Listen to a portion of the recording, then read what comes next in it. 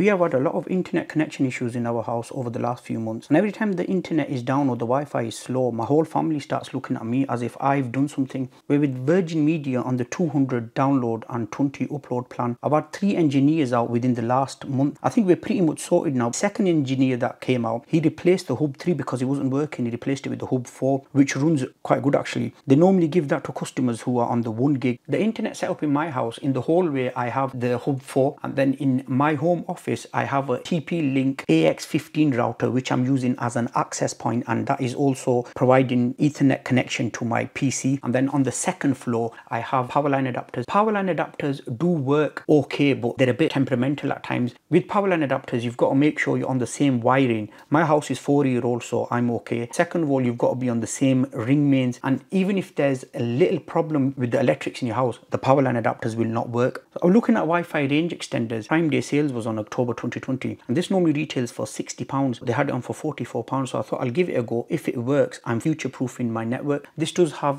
the Wi-Fi 6, which is the new Wi-Fi range, but at the moment, my devices are not fully compatible with Wi-Fi 6. I have the iPhone 11 Pro Max, that's compatible, and that works really good because my router, the TP-Link AX1500, that supports Wi-Fi 6, and I was connected to the 5G. I walked right across the road, I was watching a 4K clip on Netflix. It was working absolutely fine, no issues at all. Where I'm going to place this on the second floor, it's not a complete dead zone, but the Wi-Fi is really slow. Let's have a quick look at the packaging. TP-Link Wi-Fi 6 AX1500 dual band. These speeds are hypothetical by the way. 5G 1200 Mbps and the 2.4G 300 Mbps. 5G is a shorter range but it's a lot stronger and it's less congested and the 2.4G is a longer range. It's more congested and it's not that strong. Model number RE505X. Works with any router. You do get three years guarantee with this. Quick look at this side. You can also use this as an access point mode as well. Some information there and some information on this side. I'm going to be connecting it with the app in this video. Let's get it unboxed. Some paperwork. Instruction manual. Three ways to set it up with the app. That's what I'm going to do. Web browser and then the WPS button as well.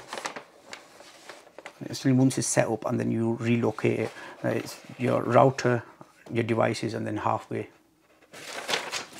more information on this side what the lights mean okay let's look at the actual product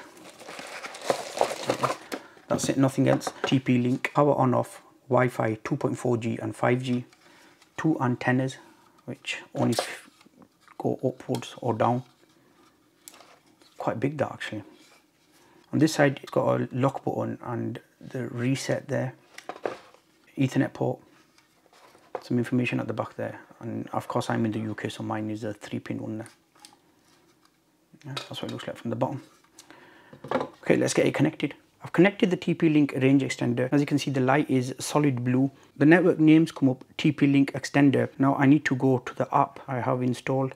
You can see there, that's the TP-Link app. I click on that.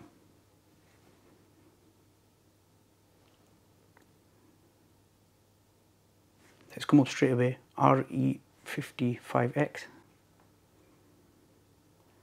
I need to create a password here. Now, do remember this password is not going to be the password for the actual extender. This is going to be a password just for the app.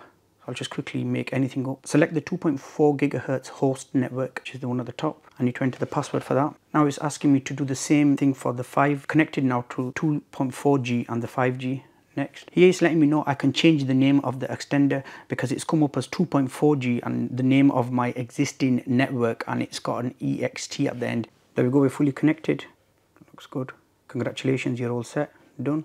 I brought up the existing network name, EXT at the end. To make things simpler, I can just go back into the settings, get rid of the EXT from both of them. That way when I'm going from one room to another, I'm not having to re-enter the passwords. It will seamlessly connect from my router to the Wi-Fi range extender, to my power line adapters, to my access point, because that's what I've done with them. Well, the power line adapters, they were really easy to connect anyway. But with my access point, I've given it the same SSID and the same password. So I'm not having to constantly change. For now, I'm leaving leaving it as it is because I'm going to run some speed tests just to show you if it does make a difference or if it doesn't. And as you can see, it's letting me know there's one client, that's the Galaxy S7 Edge, and it's running on the 2.4 5G. If I put it somewhere where there's not enough Wi-Fi range, that will of course start going red. I'll need to move it because the thing with the Wi-Fi range extender is it's not like a power line adapter. You can't put it anywhere. You've got to put it somewhere where there's a bit of Wi-Fi and then it will carry on the Wi-Fi from there. Okay, what I'll do now is I'll relocate this. I'll put it upstairs and then I'll run some speed tests. I relocated the Wi-Fi range extender upstairs in one of the kids' bedrooms and the hub is downstairs in the hallway. It's sitting in an open area, there's nothing blocking or anything, it's not in any corner. The first thing, I ran a speed test just with the hub's Wi-Fi without putting the extender on and the results are here. Download speed is 54.4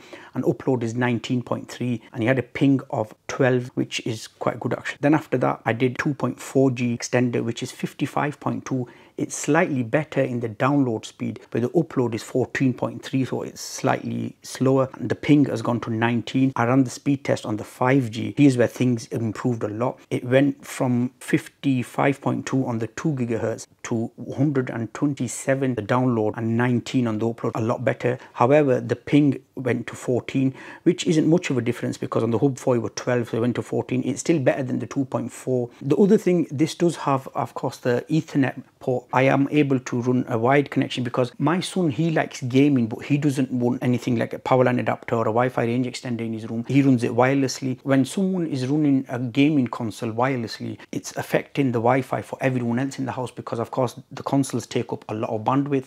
If he were to use this run a cable from his console to the TP-Link range extender. That will free up the Wi-Fi for us guys. It'll give him a better experience of playing as well.